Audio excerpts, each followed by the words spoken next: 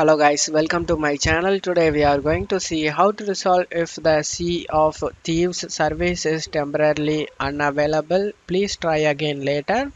Let's fix it guys.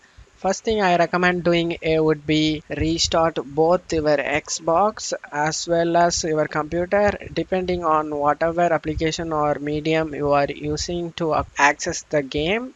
So that's the first thing I recommend doing and you can also go ahead and check the status of the server. You just need to check my video description for this link used in my video.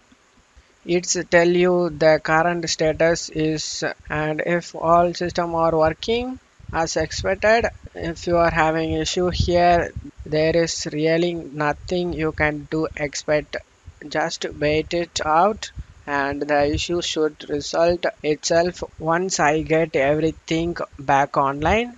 And something else uh, I recommend looking to also if you are using a VPN service you may want to consider disabling that or a proxy server to connect to the internet. And you can attempt to reset your network settings back to default. In order to do that you just need to go to search menu and type network reset. Click on open it. This will remove then reinstall all your network adapters and set other networking components back to their original settings.